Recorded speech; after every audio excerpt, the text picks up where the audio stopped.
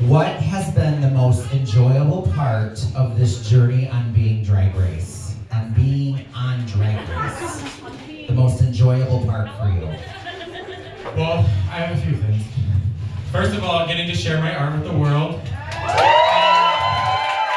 like, I always knew growing up that like I was gonna be famous for something. Those people. And, you know, I I haven't been doing drag very long, and I feel like I just every day I just get better and better, and I am so grateful for Drag Race. I really had such an amazing time, even though I lost twice. Uh,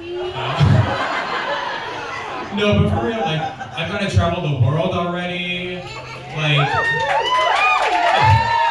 it's, it's so surreal. I'm like, it's it's really also gratifying, like I said, to just meet everybody and uh, meet the people that you know look up to you and